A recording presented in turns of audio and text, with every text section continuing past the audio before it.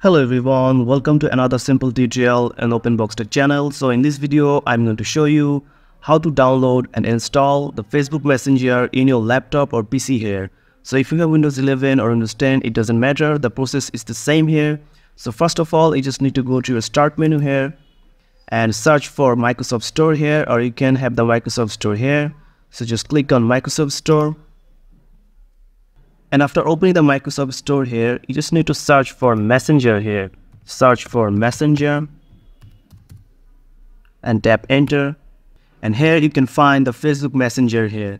So in my case, I have already installed the Facebook Messenger here. So if you don't have the Messenger here, you can have the get option here or you can have the install option here. So in my case, I have open here. So you just have to click on get on install and it will start to download and install the app in your PC or laptop here. And after that, you just have to click open here.